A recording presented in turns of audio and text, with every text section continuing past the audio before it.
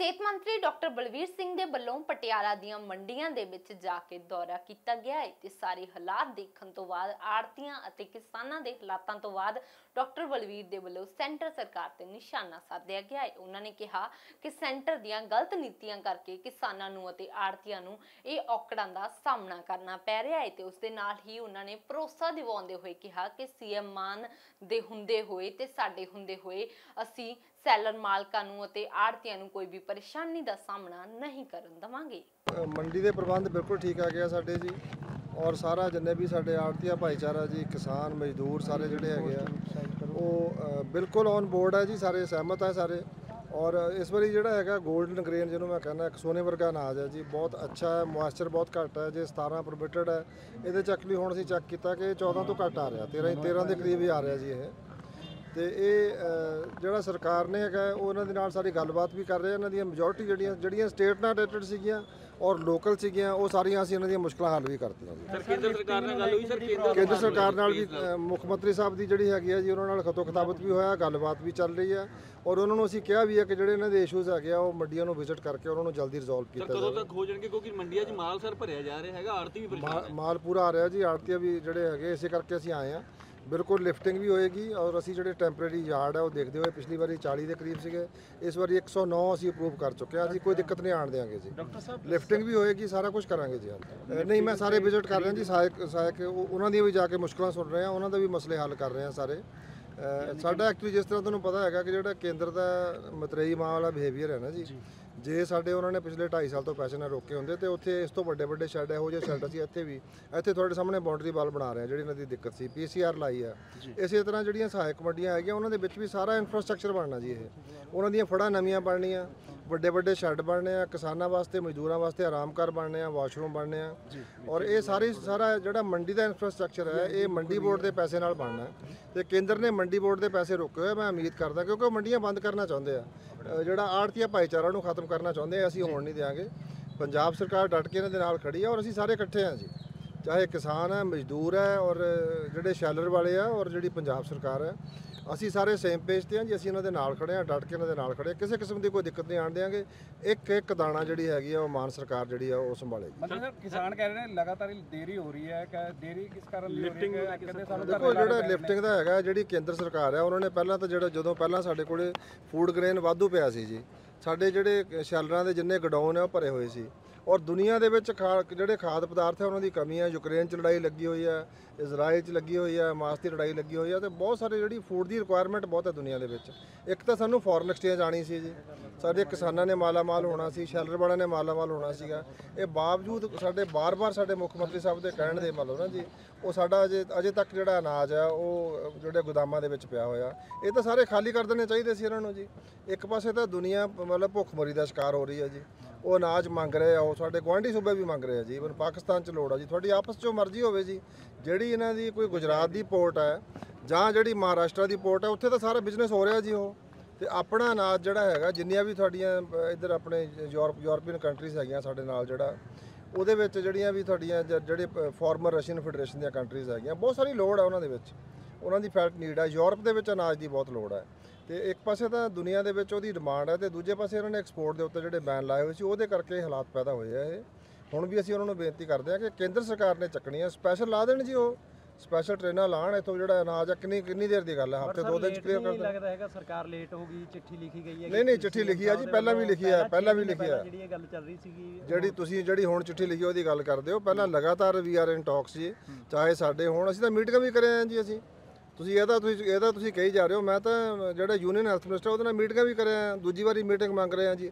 ਅੱਜ 15 ਦਿਨ ਹੋ ਗਏ ਜੀ ਸਟੇਟ ਹੈਲਥ ਮਿਨਿਸਟਰ ਮੀਟਿੰਗ ਮੰਗ ਰਿਹਾ ਜੀ। ਮੀਟਿੰਗ ਤਾਂ ਉਹਨਾਂ ਨੇ ਦੇਣੀ ਆ ਦਿੰਦੇ ਨਹੀਂ ਪਏ ਜੀ ਉਹ। ਇਸੇ ਤਰ੍ਹਾਂ ਇਹਨਾਂ ਦੇ ਮੰਤਰੀ ਵੀ ਜਿਹੜੇ ਹੈਗੇ ਆ ਉਹ ਚਿੱਠੀਆਂ ਆਪਣੇ ਲੈਵਲ ਤੇ ਲਿਖਦੇ ਰਹਿੰਦੇ ਆ। ਸੈਲਰ ਐਸੋਸੀਏਸ਼ਨ ਦੀ ਵੀ ਥੋੜੀ ਜੀ ਸਰ ਅ, ਨਾਰਾਜ਼ ਹੈ ਕਹਿੰਦੇ ਜਿਹੜੇ ਖਰੀਦ ਏਜੰਸੀਆਂ ਧੱਕੇ ਨਾਲ ਫੋਨ ਕਰਕੇ ਕਹਿੰਦੇ ਵੀ ਮਾਲ ਚੱਕੋ ਜੀ। ਨਹੀਂ ਨਹੀਂ ਧੱਕਾ ਧੁੱਕਾ ਕੋਈ ਨਹੀਂ ਹੈ ਜੀ ਜਿਹੜੀਆਂ ਖਰੀਦ ਏਜੰਸੀਜ਼ ਹੈਗੀਆਂ ਉਹਨਾਂ ਨੇ ਹੁਣ ਹਰ ਇੱਕ ਜਿਹੜੀ ਏਜੰਸੀ ਉਹ ਆਪਣਾ ਆਪਣਾ ਕੰਮ ਕਰਦੀ ਆ। ਕੇਂਦਰ ਦੀਆਂ ਨੀਤੀਆਂ ਕਰਕੇ ਸਾਰਿਆਂ ਦੇ ਉੱਤੇ ਸਟ੍ਰੈਸ ਹੈ ਜੀ। ਜੇ ਜਿਹੜੀ ਕੇਂਦਰ ਦੀ ਨੀਤੀ ਠੀਕ ਹੋਵੇ ਕੇਂਦਰ ਨੂੰ ਅਨਾਜ ਚਾਹੀਦਾ ਇਹਨਾਂ ਨੇ ਇਹਨਾਂ ਨੇ ਜਿਹੜੀਆਂ ਵੋਟਾਂ ਮੰਗਦੇ ਆ, ਲੋਕਾਂ ਨੂੰ ਫ੍ਰੀ ਅਨਾਜ ਦੇ ਕੇ ਵੋਟਾਂ ਮੰਗਦੇ ਆ ਨਾ ਜੀ, ਅਨਾਜ ਕਿੱਥੋਂ ਜਾਂਦਾ, ਪੰਜਾਬ ਚੋਂ ਜਾਂਦਾ।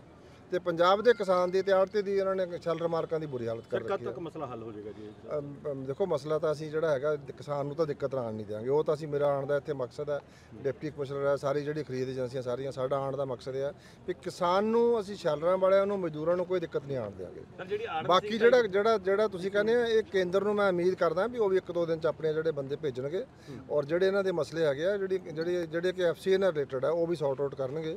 ਇਹ ਉਹਨਾਂ ਦਾ ਵੀ ਫਰਜ਼ ਹੈ ਜੀ ਜੇ ਕਿਤੇ ਜੇ ਪਹਿਲਾਂ ਸਾਡੇ ਹੜ੍ਹ ਆਏ ਸੀ।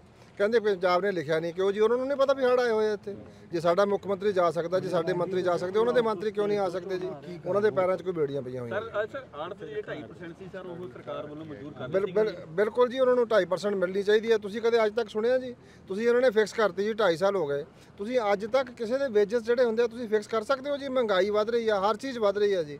ਸਾਰੀ ਜ਼ਿੰਮੇਵਾਰੀ ਆੜਤੀ ਤੇ ਪਾਈ ਹੋਈ ਆ ਤੁਸੀਂ। ਆੜਤੀ ਇੱਕ ਸਰਵਿਸ ਪ੍ਰੋਵਾਈਡਰ ਹੈ ਤੁਸੀਂ ਕਿੱਦਾਂ ਫਿਕਸ ਕਰ ਸਕਦੇ ਹੋ ਜੀ? ਉਹਨੂੰ ਆਪਣੀ ਮਰਜ਼ੀ ਥੋੜੀ ਹੈ। ਇਹ ਕੇਂਦਰ ਦਾ ਜਿਹੜਾ ਮਤਲਬ ਤੁਸੀਂ ਕਹਿ ਲਓ ਵੀ ਜਿਹੜੇ ਹੈਗੇ ਆ ਨਾ ਜੀ ਨਾਦਰਸ਼ਾਹੀ ਫਰਮਾਨ, ਇਹ ਨਹੀਂ ਚੱਲਣਗੇ ਇਹਨਾਂ ਦੇ ਜੀ। ਮੰਤਰੀ ਸਾਹਿਬ ਆਪਣਾ ਦੌਰਾ ਕਰਕੇ ਗਏ ਆ ਜੀ ਪ੍ਰਬੰਧ ਓਵਰਆਲ ਸਾਡੀ ਮੰਡੀ 'ਚ ਕੋਈ ਕਮੀ ਨਹੀਂ। ਕਮੀ ਹੈ ਜੋ ਸਰਕਾਰ ਨੂੰ ਵੀ ਪਤਾ ਹੈ, ਸਾਰਿਆਂ ਨੂੰ ਵੀ ਪਤਾ ਹੈ, ਤੁਹਾਨੂੰ ਵੀ ਪਤਾ ਹੈ। ਉਹ ਸ਼ੈਲਰ ਇੰਡਸਟਰੀ ਦੀਆਂ ਪ੍ਰੋਬਲਮ ਹੈ। ਜਦੋਂ ਤੱਕ ਉਹ ਸੋਲਵ ਨਹੀਂ ਹੁੰਦੀਆਂ, ਮੰਡੀ ਪ੍ਰੋਪਰ ਨਹੀਂ ਚੱਲਦੀ। ਸਾਡੇ ਵੱਲੋਂ ਇਦਾਂ ਦੀ ਕੋਈ ਦਿੱਕਤ ਨਹੀਂ ਜੀ, ਹੁਣ ਲਿਫਟਿੰਗ ਸ਼ੁਰੂ ਹੋ ਗਈ, ਤਾਂ ਸਾਡਾ ਕੰਮ ਤਾਂ ਆਟੋਮੈਟਿਕ ਸਮੂਥ ਚੱਲੇਗਾ, ਪਰ ਫਿਰ ਵੀ ਆੜਤੀ ਵਰਗ ਆਪਣਾ ਕੰਮ ਕਰੀ ਜਾ ਰਿਹਾ ਜਿੰਨਾ ਕੁ ਹੁੰਦਾ ਉਹ ਜਿੰਨਾ ਕੁ ਮਾਲ ਆਉਂਦਾ, ਸਾਡੇ ਮਤਲਬ ਉਸ ਹਿਸਾਬ ਨਾਲ ਤ- ਬੋਲੀ ਵੀ ਲੱਗੀ ਜਾਂਦੀ ਹੈ ਤੇ ਤਲਾਈ ਵੀ ਹੋਈ ਜਾਂਦੀ ਹੈ। ਪ੍ਰੋਬਲਮ ਮੇਨ ਹੈਗੀ ਲਿਫਟਿੰਗ ਵਾਲੀ। ਲਿਫਟਿੰਗ ਉਹ ਜਿਹੜਾ ਮੰਤਰੀ ਸਾਹਿਬ ਹੁਣ ਭਰੋਸਾ ਦੇ ਗਏ ਆ ਵੀ ਵਿਦਨ 1 অর 2 ਡੇ ਇਹ ਸਾਰੇ ਮਸਲੇ ਸੈੱਟ ਹੋ ਜਾਣਗੇ ਕਿ ਸੈਂਟਰ ਨਾਲ ਵੀ ਟਾਈ ਅਪ ਹੋ ਰਿਹਾ। ਸੋ ਕੱਲ ਵੀ ਪੰਜਾਬ ਭਵਨ ਦੇ ਵਿੱਚ ਕਾਫੀ ਮੀਟਿੰਗਾਂ ਦਾ ਦੌਰ ਜਾਰੀ ਰਿਹਾ। ਸਵੇਰੇ 11 ਵਜੇ ਤੋਂ ਲੈ ਕੇ ਰਾਤ ਦੇ 9 ਵਜੇ ਤੱਕ ਮੀਟਿੰਗਾਂ ਚੱਲਦੀਆਂ ਨੇ ਜਿਸ ਚੀਫ ਚੀਫ ਸੈਕਟਰੀ ਪੰਜਾਬ ਸਰਕਾਰ ਤੇ ਡਾਇਰੈਕਟਰ ਫੂਡ ਸੈਕਟਰੀ ਫੂਡ ਸਾਰੇ ਉੱਚ ਕੋਟੀ ਦੇ ਅਫਸਰ ਬੈਠੇ ਸੀ। ਤੋ ਉਹਨਾਂ ਨੂੰ ਮਤਲਬ ਸਾਰੀਆਂ ਪ੍ਰੋਬਲਮਾਂ ਜਿਹੜੀ ਸ਼ੈਲਰ ਐਸੋਸੀਏਸ਼ਨ ਦੇ ਪ੍ਰੈਜ਼ੀਡੈਂਟ ਤਰਸੇਮ ਸੈਣੀ ਜੀ ਤੇ ਬਿੰਟਾ ਜੀ, ਜੋ ਪੰਜਾਬ ਐਸੋ- ਸ਼ੈਲਰ ਐਸੋਸੀਏਸ਼ਨ ਦੇ ਪ੍ਰਧਾਨ ਹੈ ਪੰਜਾਬ ਦੇ, ਉਹਨਾਂ ਨੇ ਸਾਰੇ ਜਾਣੂ ਕਰਵਾਇਆ ਸੋ ਕਾਫੀ ਹੱਦ ਤੱਕ ਸਹਿਮਤੀ ਬਣੀ ਹੈ ਉਹਨਾਂ ਡਿਮਾਂਡਾਂ ਤੇ।